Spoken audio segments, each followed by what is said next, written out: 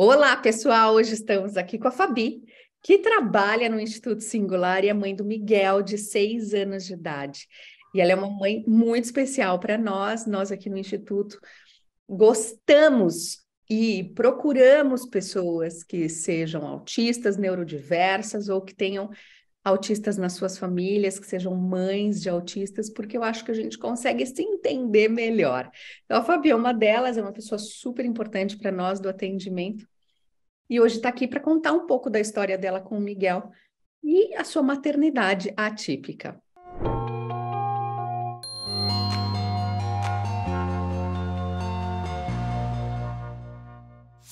Você sabe, Fabi, que uh, a gente estava lá, lá em Fortaleza e aí uh, no meio da, do lançamento do, lá do livro, do, teve um na quarta, na terça-feira, a gente fez um evento numa livraria que teve que teve uma reunião assim com os profissionais, alguns pais.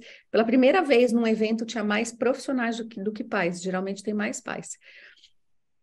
E aí teve uma menina que falou de você, falou que quando ela me viu falando alguma coisa na internet é, que ia abrir em Fortaleza, ela correu mandar mensagem, aí uma tal de Fabi que atendeu, que falou com ela, e que ela achava que você era um robô, que ela te pergunta várias coisas, que agora ela já manda direto, ô Fabi, não sei o quê.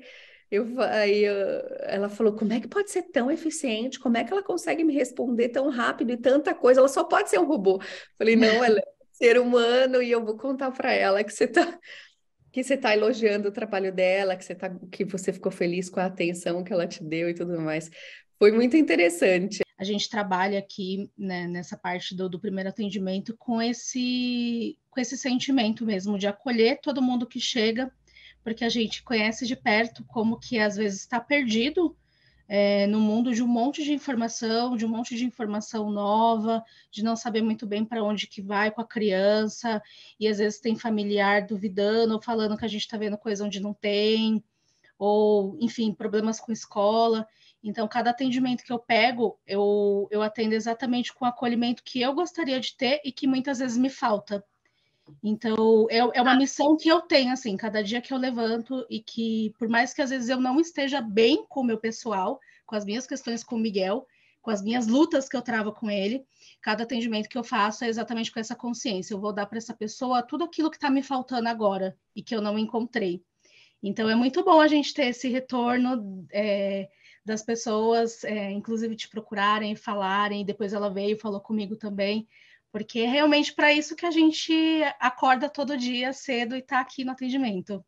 Mas e olha que demais, né? Quer dizer, é, eu sempre falo isso, mas esse é um exemplo prático que a gente é uma corrente, a gente é uma corrente do bem, assim, que quer tentar fazer o bem com vários elos, né? E que você, desde a pessoa do atendimento, não é só o terapeuta que está dentro da sala que faz bem para essa criança, para essa família. Se você é acolhido, é bem atendido, isso já muda o dia da família, já muda a energia dessa mãe para atuar com essa criança. É muito importante. Você já começa a, a, a reabilitação do, desse, a, desse contato, né? Desse primeiro contato, assim. Você já propicia melhores condições para essa família gerarem estímulos que vão ajudar no desenvolvimento dessa criança. Para a gente isso é demais e dá um propósito, né, Fabi? Tem um outro propósito de vida, não é um trabalho, sei lá, nada contra, mas sei lá, uma pessoa que trabalha num banco, deve ser meio, meio chato, né? Uma coisa, não sei, eu acho que eu sou suspeita, mas eu acho nosso trabalho muito mais legal, assim, de trabalhar com pessoas que realmente estão precisando e que a gente pode fazer a diferença na vida delas, muita diferença. Sim, e às vezes assim, a gente acha que, ah, mas é só um atendimento, mas é exatamente o que você falou. Às vezes é um atendimento de uma família que está chegando assim, uma mãe, um pai, uma avó, enfim, um familiar, que está chegando cheio de dúvidas, que está chegando. Às vezes a, a, gente foca muito na criança, a gente esquece da gente. Isso. Então, às vezes, a gente precisa conversar com alguém, às vezes é só conversar que a gente precisa.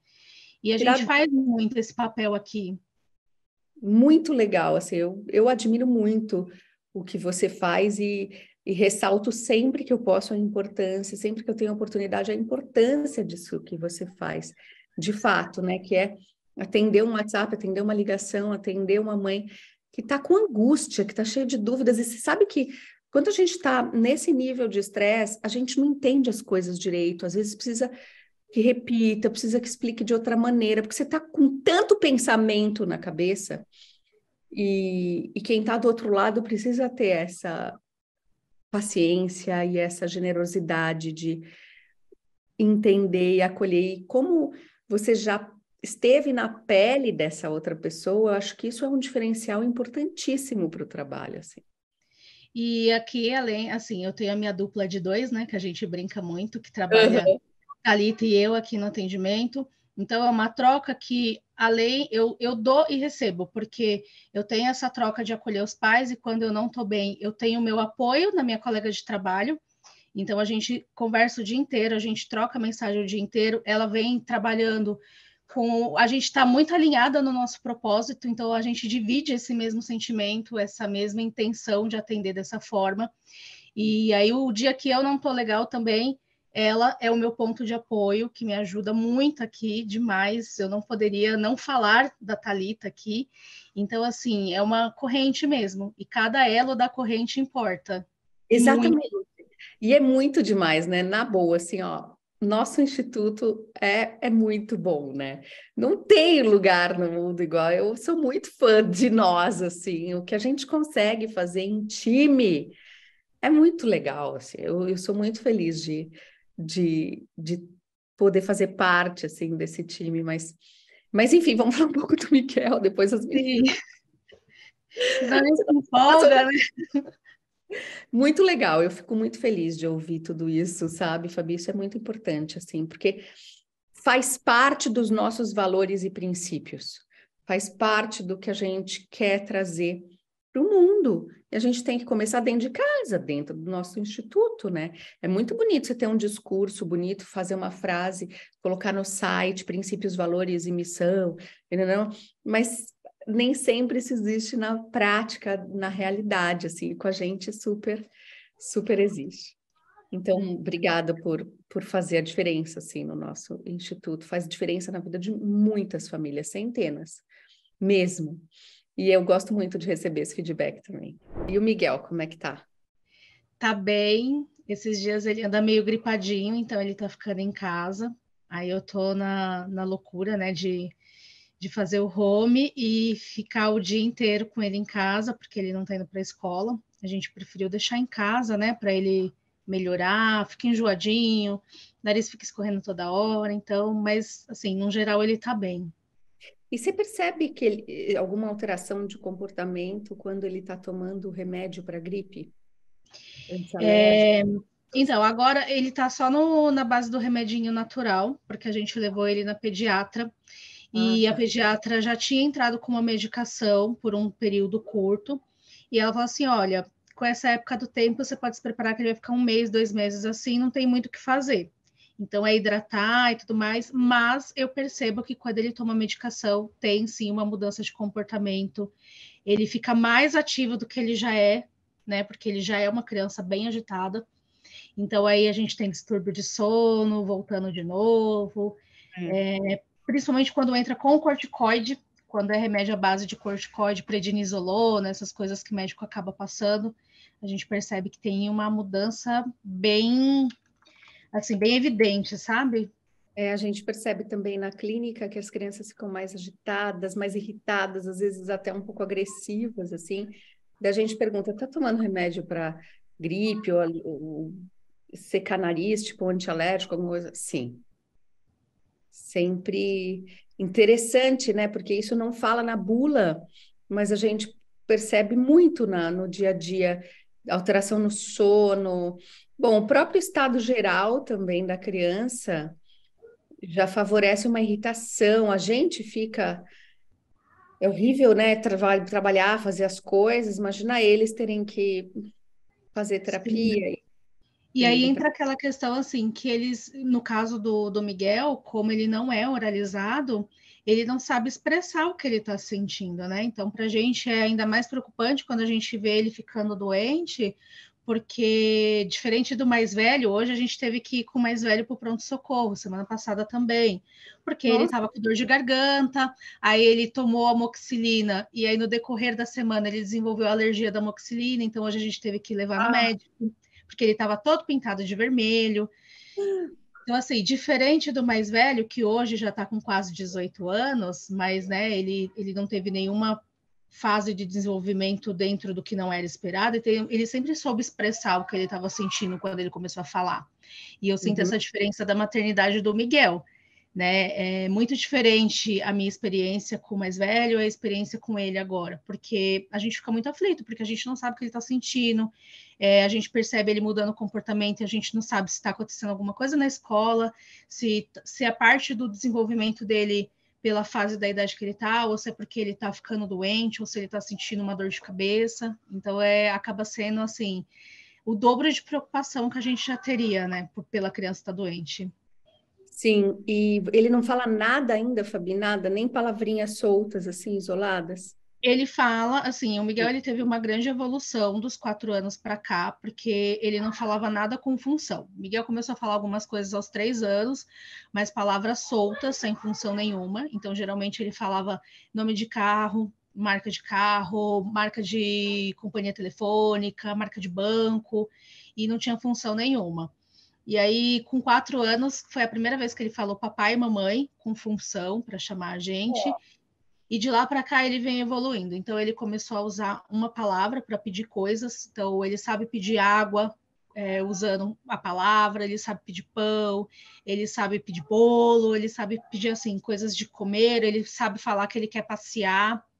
Então ele fala pouquíssimas coisas com função, mas ele não sabe contar uma história do que aconteceu na escola, ele não sabe montar frases, ele fala pouquíssimas coisas com função.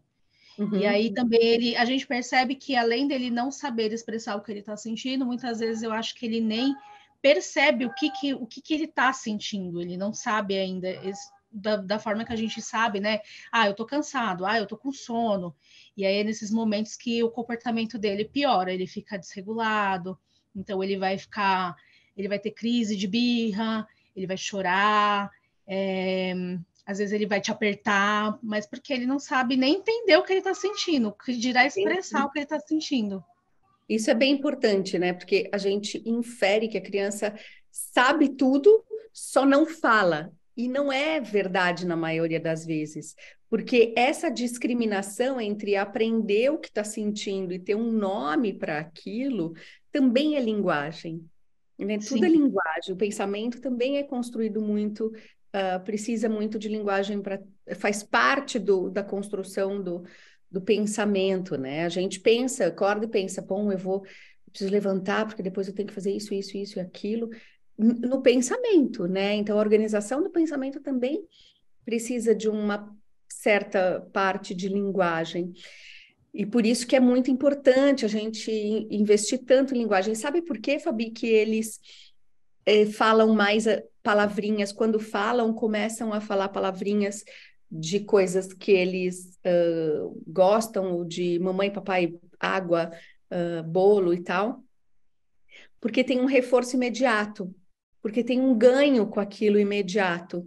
Então, o cérebro faz um super esforço e daí consegue ter uma associação de significante e significado, algo que fortalece esse comportamento, que é o reforço. Então, por isso que é muito comum falar palavrinhas, algumas, mais de coisas que uh, são do, do familiares e do interesse da criança, e não frases, porque depois que fala palavrinhas, ainda precisa de, um, de uma série de etapas, né? Precisa daí, a partir de, então, responder com palavrinhas uma coisa que o outro quer, por exemplo, quando eu pergunto, e o que que é isso? E o que, que é isso? E o que, que é isso? Né? Então, aí precisa, ele não tem interesse, ele não vai ganhar nada recebendo uh, o que ele falar, mas ele fala pelo social, na verdade, né? Pelo, pelo outro, assim.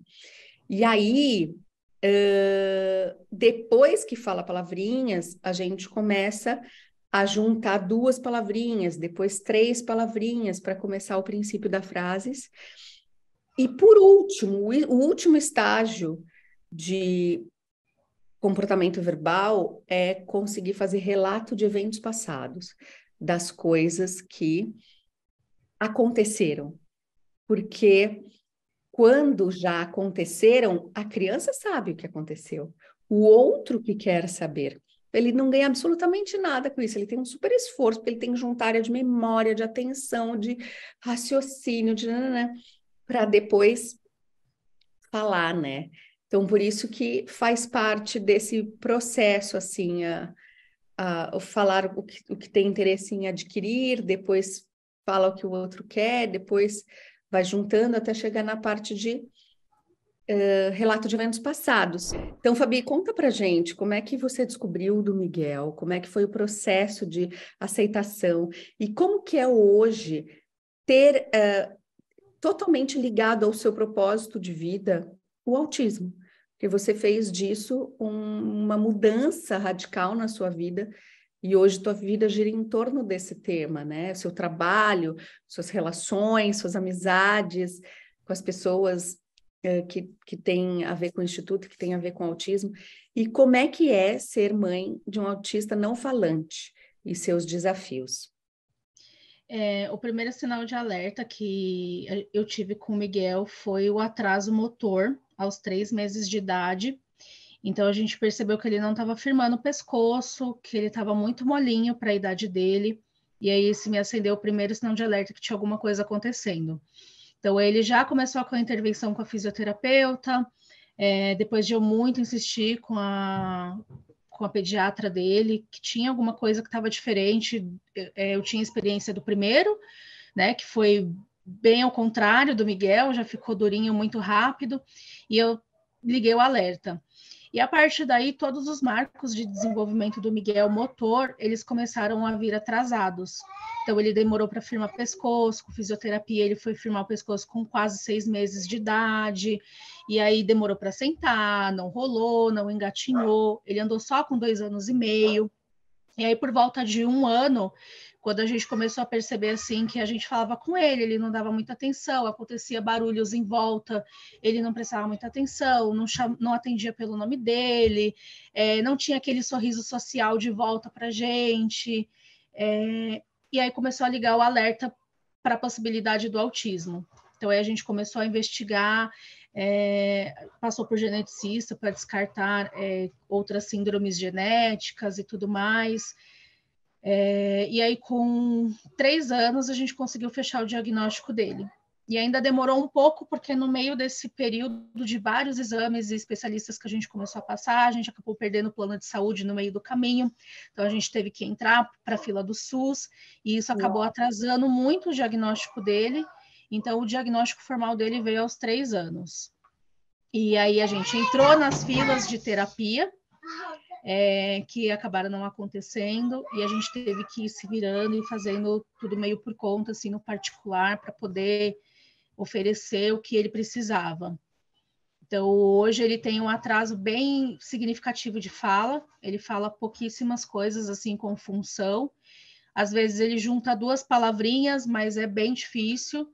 E esse é um desafio, porque está em fase escolar, tem a questão de, às vezes, é, quando fica doente, a gente não sabe muito bem o que está acontecendo porque não sabe se expressar, não sabe contar como é que foi um dia na escola. Então, é muito angustiante para a gente, quanto mãe e pai, enfim, em relação a isso. É, de ver que, às vezes, a impressão que a gente tem é que ele até tenta se expressar em algumas vezes, mas não consegue, né? E às vezes a gente não consegue entender o que ele quer dizer para a gente. Então, é, é, um, é um desafio, assim, bem angustiante às vezes. Bem angustiante, né? Você estava contando uh, do, do, do, um episódio de que ele ficou doente, que ele não sabe descrever e explicar onde está doendo, mostrar o que, que ele está precisando. Isso para uma mãe é, é muito, muito forte, né? Você acha que a, o fato de, da pouca linguagem, da pouca comunicação, para você é o mais difícil do autismo? Ou o que, que você acha que é o mais difícil do autismo do Miguel? É, o que eu falo até aqui em casa, quando eu e meu marido nós estamos conversando, o que me angustia de verdade é, eu acho que toda mãe que, que descobre autismo fala daquele processo, né? Ah, tem o processo do luto da, da descoberta do autismo. É um processo de aceita, aceitação aos poucos. Tem famílias que não aceitam, tem famílias que escondem, enfim. Eu acho que eu estou em processo de aceitação, mas não pelo autismo em si, porque a questão não é o autismo, a questão são os atrasos que meu filho tem por conta das dificuldades que o autismo acaba trazendo e vai desencadeando em outros atrasos. Então, eu, eu acredito que, para mim, hoje, o que me pega mais é exatamente isso: é ver que ele tem esse atraso, que ele não consegue se comunicar, e isso está dificultando em outras coisas. Ele já está na escola, ano que vem ele vai para o primeiro ano do ensino fundamental, e eu sei que tudo isso, por conta dessa questão dele com a fala, com a comunicação, com a linguagem, tem muita coisa que está sendo que ele está perdendo muita, muita chance de aprender coisas novas. Então, para mim, o que me, me pega mais é esse atraso e que eu percebo que a autonomia dele diminui em alguns aspectos por causa disso. Então, além do atraso, ele tem muita questão sensorial envolvida. Então, hoje, para a idade que ele tem, ele é dependente da gente de coisas que ele não deveria ser mais. Uhum. E eu acho que toda mãe atípica, o maior medo que a gente tem não é o agora, é, especificamente. É o medo assim: será que meu filho, é, quando eu não estiver mais aqui, como é que vai ser a vida dele? Quem vai estar aqui por ele? Então, é, a gente até pensa assim: ah, vamos tentar viver um dia de cada vez. Mas eu acho que para uma mãe já é difícil viver um dia de cada vez, porque a gente está sempre pensando lá na frente, e para uma mãe atípica isso é ainda mais difícil. Porque a gente não se permite ficar doente, a gente é, para de olhar para a gente porque a gente está o tempo todo pensando nas coisas da criança, e isso também não é o ideal, porque se a gente não está bem, é muito difícil cuidar deles, porque demanda muito.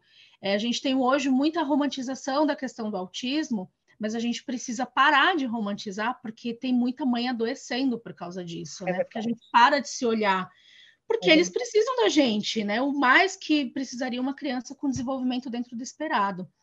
Então, eu acho que isso é, é muito angustiante nesse aspecto, de, de não saber o, o amanhã, a gente não sabe mesmo amanhã, acho que ninguém sabe, mas na cabeça da manhã típica isso roda de uma forma muito intensa. Eu não sei o amanhã do meu filho, não sei como é que vai ser. Eu entendo, Fabi, eu entendo. Na verdade, a resposta né, que a gente mais ouve é: ah, mas a gente não sabe como vai ser com nenhuma das crianças, nem os nossos filhos, mas tem uma probabilidade, tem um caminho, né? E o caminho de uma criança que tem dependência, ele é mais difícil se fica assim, porque enquanto você está aí, você não, você não, não mede esforços, você não, não não pensa se está cansada, se está doente, como você mesmo disse. Mas e depois? É uma angústia. A gente precisa falar mais sobre isso, pensar mais sobre isso e encontrar mais soluções para isso, porque é a realidade de milhares de famílias. Então, Sim. muito legal você trazer esse ponto e levantar essa questão, porque é uma questão que a gente precisa discutir muito mais mesmo, que hoje nós não temos uma solução, uma resposta para isso. Sim, muito e além de tudo, vem muito uma questão de culpa, né? Porque a gente ouve, a gente é fundamentado numa sociedade que coloca tudo na conta da mãe, isso de é. qualquer mãe. E aí, quando a gente é uma mãe atípica, a gente às vezes se sente culpada por estar cansada. Porque a gente fala assim, nossa, mas que mãe sou eu que estou cansada de cuidar do meu filho, que estou cansada. E, e isso é algo muito problemático que não se fala, porque tem muita mãe se sentindo é, muito menos do que ela é, porque ela não se dá o direito de ser o que ela é, humana. Porque, é. primeiro, antes de ser mãe, eu sou humana. Antes de ser mãe, eu tinha sonhos. É. É, eu continuo tendo outras necessidades além da maternidade. E aí a gente coloca essa mãe num pedestal é, como se ela não pudesse ser, ser e pensar em ser mais nada além de ser mãe, principalmente se ela é uma mãe atípica. É. E a gente entra numa questão muito complicada, que é assim: é, se eu levo meu filho para terapias de mais, eu estou forçando a criança. Se eu levo meu filho para terapias de menos, eu sou irresponsável. Se eu mando meu filho para uma escola regular que não tem capacidade para receber o meu filho, eu sou irresponsável, quero me livrar do meu filho. Se eu não mando ele para a escola, eu também, meu Deus, você não está mandando seu filho para a escola. Então, nada que a mãe faz tá, tá bom. bom o suficiente. Nada. E isso as mães acabam se culpando, elas vão internalizando essa culpa e elas vão se sentindo menos, né? Como se elas tivessem que dar conta de tudo o tempo todo. E, e não é assim, não deveria ser assim, né? Por mais que seja, é. não deveria ser assim. É, e ainda muitas mães têm a responsabilidade ainda de não ter opção de tratamento, então precisam estimular em casa, e aí muitas vezes tem que ficar ouvindo uh, soluções mágicas de quem está de fora, é muito fácil, né, dar uma solução e dar um pitaco quem está de fora. Ai, mas por que, que você não faz tal coisa? Ai, mas era só você fazer isso. Não, porque o filho da fulana, da vizinha, de não sei quem, foi só fazer... Todo mundo quer ajudar, mas com fórmulas mágicas, que a gente sabe que não é o que é a realidade, né? Então, uhum. muito legal você estar tá trazendo, muito legal você trazer essas discussões para cá, Fabi, que eu acho que são coisas relevantes que muitas pessoas estão sentindo e que a gente fala muito pouco. Sim, é verdade. É. Muito bom, muito bom, Fabi. Você fala muito bem. Ah, Vamos obrigada. Você fala muito bem, adorei. Acho que você levantou questões super importantes, assim, que, que justamente, exatamente isso que eu falei, que muitas pessoas vão se identificar e que nós falamos muito pouco no canal. Sim, e, e faz falta, faz muita falta, porque tem mães que não têm rede de apoio nenhuma, né? Que são mães é, solo, que não tem mais mãe e pai vivo, que não tem irmãos às vezes, e que estão ali naquela situação que não tem para onde correr, ou elas vão estar tá pela criança ou não vai ter ninguém. Então é muito é. complicado, eu acho que precisa muito falar, porque não tem é, como você cuidar de outra pessoa se você não está bem. Com né? certeza. E, e, o quanto falta de apoio para essas mães, é, inclusive apoio psicológico mesmo, sabe? Dessas mães conseguirem também fazer terapia. A gente foca muito, é, e, e, isso é uma, um problema muito grande, porque a gente já vê muitas mães sem ter acesso às terapias que a criança precisa, e quando a gente pensa em na terapia para mãe, isso é um cenário ainda mais distante, porque se já não tem, é, uma, o SUS tem uma demanda muito grande, não comporta, é, a gente sabe que o particular não é tão fácil, o plano de saúde é complicado, e isso complica já a terapia da criança. E quando a gente coloca esse olhar em cima da mãe, que também precisa de terapia, hum. né? É muito complicado. E aí fica duas pessoas ali, o cuidador doente, é, da, a criança que precisa de uma assistência um pouco maior também sem acesso, e ninguém fala sobre isso, e a gente vê muita gente falando coisas que não existem, gente querendo vender curas, e o quanto essas pessoas estão vulneráveis para cair nesses golpes da cura do autismo e de um monte de porcaria que a gente ouve por aí, né? Então, precisa muito ter esse olhar assim e começar a pensar nessa parte também, que, que as famílias precisam desse olhar também mais atento. Maravilha.